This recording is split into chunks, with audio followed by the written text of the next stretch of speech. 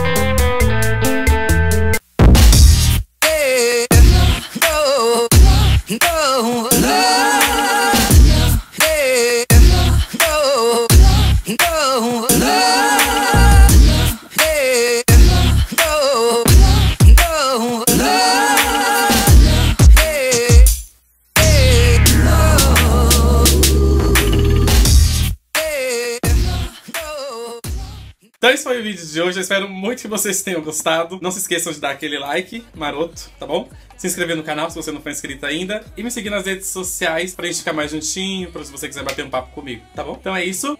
Um beijo, fiquem com Deus e até o próximo vídeo. Tchau, na verdade até amanhã, né? Tchau.